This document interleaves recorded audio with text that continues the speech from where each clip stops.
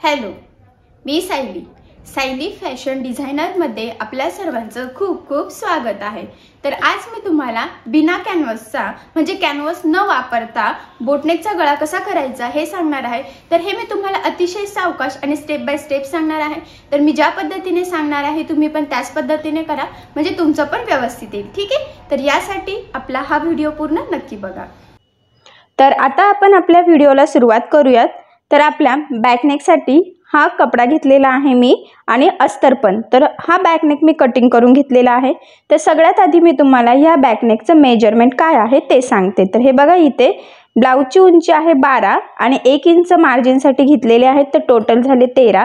त्यानंतर आपण शोल्डर घेतलेला आहे साडेसहा कारण की हा बोटनेक आहे आणि बोटनेकसाठी आपण पूर्ण शोल्डर घेत असतो. तर जे इथे पूर्ण शोल्डर जे होतं ते होतं आपलं तेरा तर तेराचं निम्म केलेलं आहे आपण म्हणजेच इथे साडेसहा घेतलेला आहे. ठीक आहे?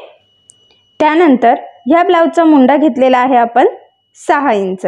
ठीक आहे? आणि दीड इंचाला मार्किंग करून हा आपण बॅक साईडचा मुंड्याचा शेप देऊन घेतलेला आहे. आता यानंतर आपण याचा गळ्याचा जो आकार आहे तो ड्रॉ करून घेऊयात. तर हा आपण बिना कॅनव्हासचा स्टिच करणार आहोत. ठीक आहे? आणि तो बोटनेक पण आहे. तर अगदी सोप्या पद्धतीने मी तुम्हाला सांगते की ह्या बॅकनेकची मार्किंग कशी करायची कटिंग कशी करायची आणि तो स्टिच कसा करायचा. तर हे बघा इथे. सगळ्यात आधी आपल्याला टाकायची आहे गळारुंदी. तर इथे गळारुंदी घेत आहे साडेतीन इंच. त्यानंतर तिथून खाली आपण गळ्याची उंची घेतलेली आहे तीन इंच. आणि पुन्हा साडेतीन गळारुंदीची मार्किंग करून घ्यायची आहे. आणि हा बॉक्स ड्रॉ करायचा आहे. जेणेकरून हा आपला जो बॉक्स आहे तो व्यवस्थित येईल सगळीकडून. त्यामुळे पुन्हा आपण गळारुंदीची खालच्या साईडने पण मार्किंग करून घ्यायची आहे. काही तिरकं जायला नको त्यासाठी. आणि हा वरचा जो आपला गळाचा आकार आहे तो आपल्याला गोल द्यायचा आहे. तर हे बघा तो या पद्धतीने देऊन घ्यायचा आहे. त्यानंतर आता खाली आपल्याला अजून एक शेप काढायचा आहे. तर त्यासाठी जिथून आधीचा गळा ड्रॉ केलेला आहे तिथून खाली आपल्याला साधारणतः दीड इंचाला मार्किंग करून घ्यायची आहे. आणि तुम्ही दोन इंचाला केली तरी चालेल पण मी इथे दीड इंचाला करते.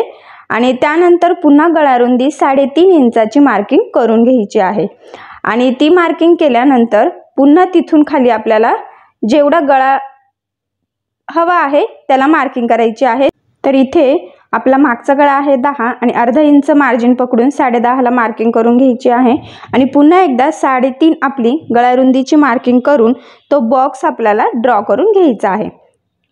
आता हा बॉक्स ड्रॉ केल्यानंतर जो खालचा शेप आहे हे बघा इथून इथपर्यंतचं आपल्याला सेंटर म्हणजेच निम्म. तर सहाचं निम्म होतं तीन तर तिथे मार्किंग करून घेतलेली आहे. आणि हे बघा असं आपल्याला त्रिकोणी म्हणजे शंकरपाळ्यासारखा आकार देऊन घ्यायचा आहे ह्या पद्धतीने. ठीक आहे? तर आता आपण ही मार्किंग झाल्यानंतर हे कट करून घेऊयात. तर सगळ्यात आधी हे बघा वरचा शेप कट करून घ्यायचा आहे आणि त्यानंतर खालचा. तर कट करताना अतिशय सावकाश जो आपला कोपरा आहे तो व्यवस्थित कटिंग करून घ्यायचा आहे. हे बघा आता ही कटिंग झालेली आहे तर आता आपण हा स्टिच करायला सुरुवात करूयात. तर सगळ्यात आधी जो ब्लाऊज पीसचा आपण बॅकनेक कट केला आहे तो ह्या पद्धतीने सरळ ठेवायचा.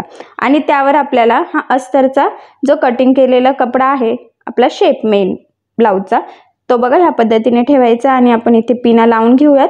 म्हणजे ते आपल्याला स्टिच करायला सोपं जाईल हलणार पण नाही आणि शेप पण व्यवस्थित येईल. ठीक आहे? आता यानंतर काय करायचं आहे बघा आपल्याला.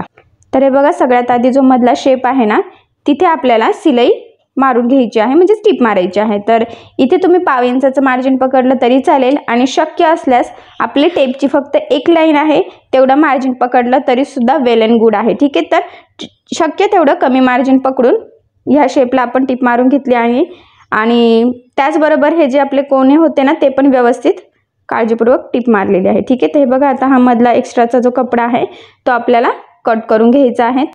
तर हा आपल्याला काळजीपूर्वकच कट करायचा आहे कारण हा आपण बिना कॅनव्हासचा स्टिच करत आहोत. आता बघा कट मारायचा आहे. तर मेन कट्स तर आपल्याला जो आपला शेप आहे ना त्रिकोणीचा तो चार कोपऱ्यावर चारसुद्धा व्यवस्थित कट मारून घ्यायचा आहे. आणि कट्स मारताना आपला कपडा कट होणार नाही याची काळजी घ्यायची आहे. हे बघा ह्या पद्धतीने आता आपण त्या आतमध्ये अस्तर फोल्ड करून घेतलेलं आहे.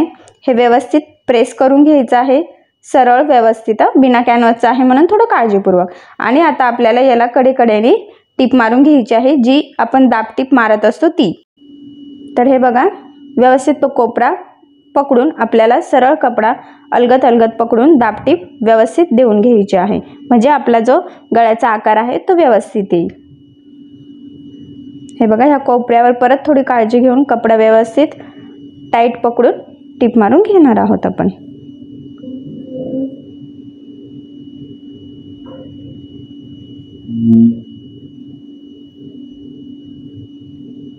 तर हे बघा ही आता आपली दाबटीप देऊन झाली. तर आता यानंतर आपल्याला खालच्या साईडने ॲज इट इज जॉईन करून घ्यायचं आहे. म्हणजे जेवढा अस्तर जसं आहे ना आता ते पूर्ण साईडने आपल्याला आहे तसं हे बघा ह्या पद्धतीने कडेकडेने शक्य तेवढं कमीत कमी मार्जिन पकडून टीप मारून घ्यायची आहे. तर हे बघा हे गळ्याच्या साईडला पण व्यवस्थित टीप मारायची आहे जेणेकरून आपला हा कपडा काहीही गोळा होता कामा नये कारण की त्यावर आपली फिनिशिंग डिपेंड आहे. तर हे बघा या पद्धतीने आपलं पूर्ण अस्तर आणि आपला जो मेन ब्लाऊजचा कपडा होता तो जॉईन करून झालेला आहे. आणि जे एक्स्ट्राचा कपडा आहे ब्लाऊज पीसचा तो आपल्याला कट करून घ्यायचा आहे सगळ्या बाजूचा. म्हणजे आपला जो बॅकनेकचा प्रॉपर आकार आहे तो येऊन जाईल. ठीक आहे? कारण तुम्हाला आठवत असेल आपण एक्स्ट्रा घेत असतो कारण ते कमी पडायला नको. त्यासाठी आणि नवीन शिकत आहात तुम्ही म्हणून मी थोडं जास्तच एक्स्ट्रा घेऊन दाखवलं आहे ओके? रेडी झालं आहे आता आपल्याला खाली कमरेच्या साईडला आणि गळ्याच्या साईडला पट्ट्या लावून घ्यायच्या आहेत. तर त्या आता आपण लावून घेऊयात. तर हे बघा खालच्या साईडने साधारणतः अर्धा इंचाचं मार्जिन पकडून आपल्याला ही कमरेची पट्टी लावून घ्यायची आहे. तर ती साधारणतः दीड इंचाची कटिंग करून घ्यायची आहे. आणि पुन्हा हे बघा आतल्या साईडने फोल्ड करून आपण जी दापटीप देत असतो फिनिशिंगसाठी ती खालच्या साईडला देऊन घ्यायची आहे. तर हे बघा कमरपट्टी लावून झालेली आहे. त्यानंतर आपण त्याला ब्लाऊज पूर्ण झाल्यानंतर हात शिलाई करणार आहोत. तर आता आपण गळ्याची पट्टी लावून घेऊयात. तर ह्या पट्ट्या ज्या आहेत त्या मी साधारणतः एक इंचाच्या कट करून घेतलेल्या आहे. आणि सगळ्यात महत्त्वाचं म्हणजे ह्या पट्ट्या आपण तिरक्या स्ट्रेचेबल कट करून घेतल्या आहेत. तर हे बघा ह्या पद्धतीने डबल फोल्ड करून एक लाईन किंवा पाव लाईनचं मार्जिन पकडून ही आपल्याला गळ्याला ह्या पद्धतीने लावून घ्यायची आहे. स्ट्रेचेबल कपडा आहे त्यामुळे आपला गळ्याचा शेप व्यवस्थित येणार आहे. म्हणून तुम्ही सुद्धा तिरक्याच कपडे मध्ये ही पट्टी कट करायची आहे. आणि त्यानंतर हे बघा छोटे छोटे कट्स दिलेले आहे. आणि हे बघा या पद्धतीने प्रेस करून आपल्याला एक टीप मारून घ्यायची आहे. तर लक्षात राहू द्या ही टीप आपण जी पट्टी आहे त्यावर मारलेली आहे. आणि आता आतल्या साईडला फोल्ड करून हे बघा या पद्धतीने पुन्हा एक टीप मारून घ्यायची आहे. दाब टीप जशी असते तशीच म्हणजे आपला गळ्याचा आकार व्यवस्थित येईल. तर हे बघा ही पट्टी पण व्यवस्थित लावून झालेली आहे. तर एकदम व्यवस्थित फिनिशिंग सहित आकार आलेला आहे. ओके? त्यानंतर आता बॅक साईडला टक्स टाकून घ्यायचे. तर हे बघा तीन इंचाचा टक्स देत आहे मी वरच्या साईडला हे बघा. तर ह्या टक्सला आपण डबल टिप मारून घ्यायची आहे. म्हणजे फिनिशिंगसाठी ते छान. तर हे बघा दुसऱ्या साईडचा पण टक्स त्याच पद्धतीने टाकून घ्यायचा आहे आणि डबल टिप मारायची आहे. तर हे छोट्या छोट्या गोष्टी लक्षात राहून द्यायच्या आहे. कारण त्यावर आपला बॅकनेकचा फिनिशिंग डिपेंड असते. ओके तर हे बघा हे व्यवस्थित झालेलं आहे. तर यानंतर आपण इथे एखादी लेस लावून घेऊ शकतो. तर हे बघा इथे मी ही गोल्डन कलरची लेस घेतलेली आहे आणि ती जो मधला शेप आहे तिथे लावून घेत आहे. तर बघा कोपऱ्याला व्यवस्थित हे बघा या पद्धतीने करायची आहे आणि मग लावायची आहे. कारण की आपल्या लेसवर सुद्धा शेप डिपेंड असतो. सपोज तुमचा गळ्याचा आकार छान आला आहे आणि लेस व्यवस्थित लागली गेली नाही तरीसुद्धा आपला ब्लाऊजची फिनिशिंग बघ बिघडते. गळ्याचा आकार व्यवस्थित दिसत नाही म्हणून हे छोटे छोटे पॉईंट्स लक्षात राहू द्या. आणि इथे मी ही गोल्डन लावली तुम्ही तुमच्या आवडीनुसार कुठलीही लेस लावू शकतात. तर हे बघा व्यवस्थित कट करून परत मी व्यवस्थित फोल्ड करून तिथे फिनिश करते. म्हणजे आपला हा जो त्रिकोण आहे मधला तो व्यवस्थित आला पाहिजे. आणि आपण त्या लेसला डबल टिप टाकून घेऊयात. म्हणजे ती व्यवस्थित पॅक होईल. ओके तर हे बघा इथे मधल्या साईडला आता व्यवस्थित शेपला लेस लावून घेतलेली आहे. तर लूक पण खूपच छान आलेला आहे. तुम्ही इथे बघू शकता. ठीक आहे त्यानंतर आता गळ्याच्या साईडला पण आपण एक लेस लावून घेऊयात. तर इथे मी वेगळी घेतलेली आहे थोडी छोटी. तर ती आता आपण लावून घेऊयात.